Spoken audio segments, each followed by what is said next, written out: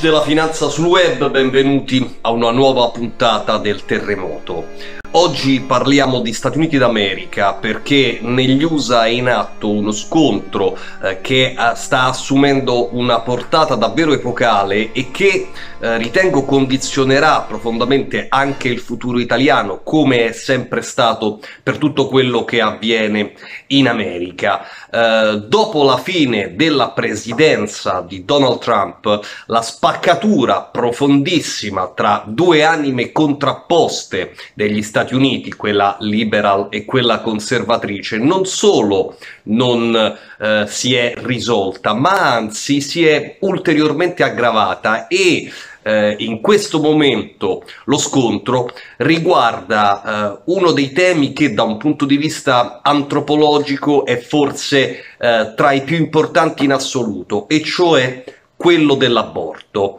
I fatti, cosa è successo? È successo che alcuni stati eh, a maggioranza conservatrice, quindi eh, governati dai repubblicani, come il Mississippi, hanno eh, promulgato leggi che limitano eh, la, l'accesso all'interruzione di gravidanza nel tempo. In particolare il Mississippi eh, ha limitato a 15 eh, settimane, quindi a circa 4 mesi, il periodo massimo entro entro cui le donne possono scegliere di interrompere la gravidanza. Eh, questa legge eh, però entra in contrasto eh, con, una precedente, eh, con una precedente sentenza della Corte Suprema degli Stati Uniti del 1973. Questa sentenza per il caso Roe uh, contro Wade uh, in pratica ha garantito uh, la libertà al, alle donne di tutti gli Stati Uniti, quindi a prescindere dallo stato di appartenenza, di accedere all'interruzione di gravidanza. È stata quindi una sentenza storica che eh, diciamo ha fatto, eh, ha fatto legislatura, cioè eh, ha eh, trasformato il sistema giuridico eh, che prima era eh, frazionato, cioè ogni singolo Stato si regolava in maniera sostanzialmente autonoma. Questa sentenza del 73 invece ha stabilito come diritto federale eh, quello di eh, appunto praticare l'interruzione di gravidanza eh, fino alla ventottesima settimana, quindi fino a sei mesi e mezzo quando eh, in pratica eh, il, eh, il mm, bambino, il feto, sarebbe in grado di sopravvivere anche al di fuori dell'utero materno. Poi i singoli stati eh, possono adottare anche, eh, anche misure diciamo ancor meno restrittive e infatti in alcuni stati, tra cui quello di New York, è possibile interrompere la gravidanza anche in un periodo successivo. Eh, il uh, Mississippi, ma anche il Texas con una legge ancora uh, più mh, mm, uh, severa, poi lo vedremo, ha invece stabilito un principio diverso, e cioè che Dopo la quindicesima settimana, in Italia eh, sono 14, eh, il, mh, mm, non è più possibile praticare l'aborto. Ora, eh, la, le speranze del eh, mondo liberal erano che la Corte Suprema degli Stati Uniti bloccasse eh, questa legge del, mm, del, Mississippi e ancora di più eh, un'altra legge che invece è, è, stata promulgata poco tempo fa dal Texas che riduce a sei settimane, quindi un mese e mezzo, il tempo massimo, e cioè quando eh, inizia ad essere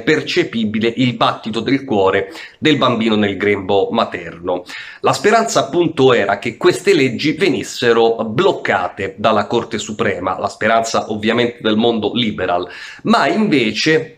non soltanto la Corte Suprema non lo ha fatto e quindi eh, si pronuncerà sulla loro costituzionalità eh, in, e, la, e, la, sentenza è attesa per giugno, ma ci sono eh, ottime probabilità che eh, viceversa le leggi vengano considerate costituzionali perché l'equilibrio della Corte Suprema è stato profondamente modificato con la presidenza Trump. Trump si è trovato in una situazione abbastanza anomala di avere la possibilità di eh, nominare tre giudici supremi. Eh, in questo momento quindi la composizione della Corte Suprema degli Stati Uniti è di sei giudici conservatori e quindi eh, molto critici su la, eh, il diritto all'aborto e tre invece liberal. Quindi le possibilità sono o eh, che il, eh, la Corte giudichi legittime eh, le leggi del Texas e del Mississippi e degli altri stati eh, che eh, si pronunciano in, in questi termini o addirittura che disconosca la sentenza eh, del 1973 uno dei giudici, infatti, eh, Kavanagh, ha affermato che nella Costituzione americana non c'è nulla che eh, giustifichi il presunto eh, diritto all'aborto e quindi la possibilità che Roe vs. Wade, cioè questa storica sentenza, venga eh, totalmente smontata dalla Corte Suprema è molto molto concreta, ma in generale non solamente eh, sul tema profondamente divisivo dell'aborto, ma su tutti i principi morali cardini della società, eh, dal, dalla questione della cancel culture all'immigrazione eh, da parte dei paesi sudamericani o extraamericani, eh, per passare alle questioni eh, fondamentali sulla famiglia, sulle eh, leggi eh, per i diritti gay, eccetera. Su tutti questi elementi gli Stati Uniti appaiono profondamente divisi, quasi in termini eh, diciamo di eh, secessione da parte di eh, alcuni stati, cioè gli stati liberali, la California, lo stato di New York, in generale gli stati, la, gli stati più ricchi, gli stati a maggioranza democratica, che in genere sono, sono eh, sulla costa, hanno una visione del mondo che è eh, totalmente in linea con quella che c'è nei paesi dell'Europa occidentale, con quella propagandata dall'elite, quindi femminista, eh, liberale, assolutamente ehm, contraria a qualunque idea di famiglia che si basi sulla procreazione quindi che sia, eh, che sia vincolata alla eh, presenza di un uomo e di una donna in funzione della prosecuzione della specie, ma eh, su tutti eh, i temi più importanti a livello etico, eh, gli stati dell'America profonda hanno una visione totalmente diversa e sempre più in contrasto con eh, gli stati invece eh, ricchi della costa che sono ultraliberali. Questa eh, frattura si è manifestata chiaramente con l'elezione di Trump, ma eh, si sperava che fosse stata messa in soffitta con i risultati delle scorse elezioni presidenziali, peraltro contestatissimi perché eh, la vittoria di misura di Biden è avvenuta in condizioni assolutamente eh, non equanimi, nel senso che da un lato c'era una, uh, un appoggio incondizionato e totale di tutta la stampa, dei social network che hanno bloccato gli account del presidente Trump, di tutti i personaggi del mondo dello spettacolo, della cultura, dello sport, a favore del candidato democratico, ma nonostante questo, eh, secondo molti, al netto de, dei clamorosi e consistenti brogli che, eh, di cui è accusato il Partito Democratico eh, americano, Biden avrebbe comunque perso. In ogni caso, a un anno dalla sua elezione, la stella di Biden è assolutamente offuscata, ma cosa peggiore lo è quella di eh, colei eh, che veniva indicata come la vera eh, presidentessa in pectore e la futura candidata per la Casa Bianca, ossia Kamala Harris, che eh, incarna tutti quelli che sono i principi eh, liberali, è una donna è, ehm, di, di, colore, almeno in, in parte, insomma, non è bianca, diciamo così, profondamente femminista, eh, convintamente liberal. Ebbene, la stella di Kamala, che doveva splendere come una stella polare per tutti per tutta la sinistra occidentale invece sembra esserci, essersi già spenta. Vediamo il servizio.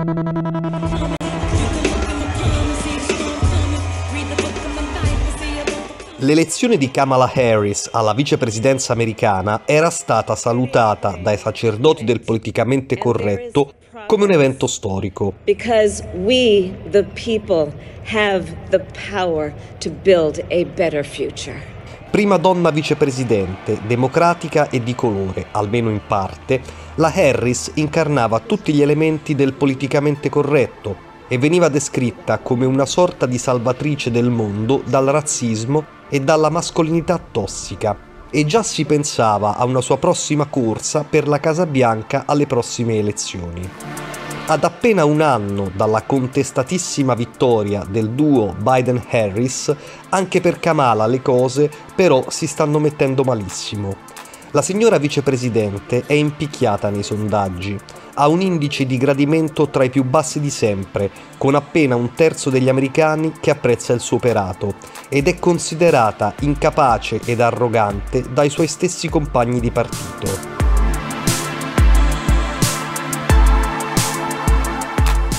Le gaffe e gli errori della Harris stanno portando a una vera e propria fuga dei suoi collaboratori,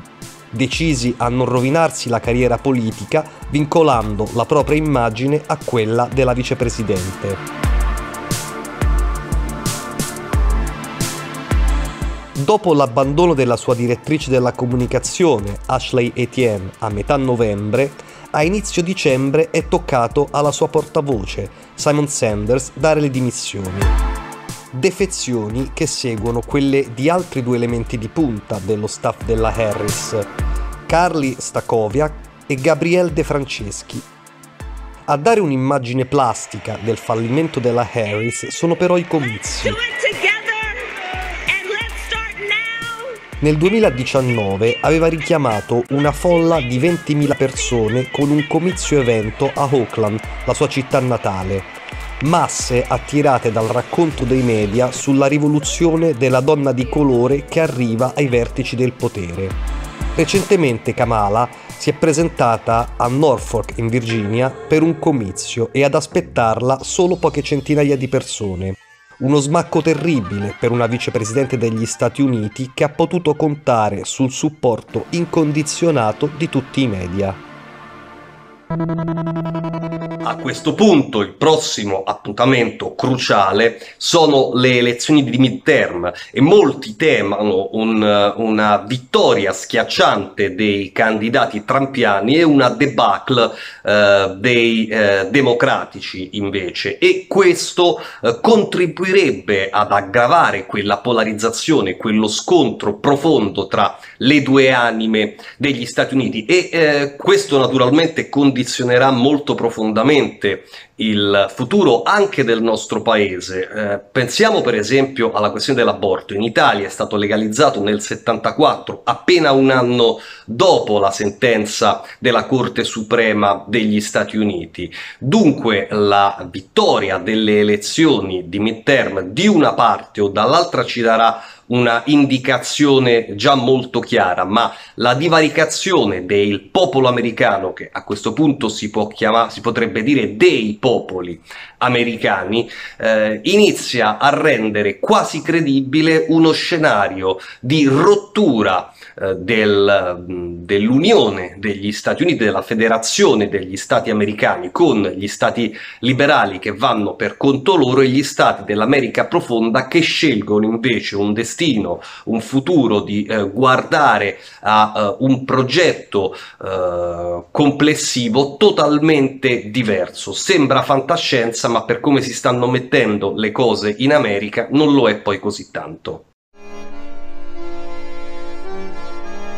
Se credi nell'informazione libera e vuoi sostenere il nostro canale, vai in descrizione e troverai tutti i link per dare il tuo contributo.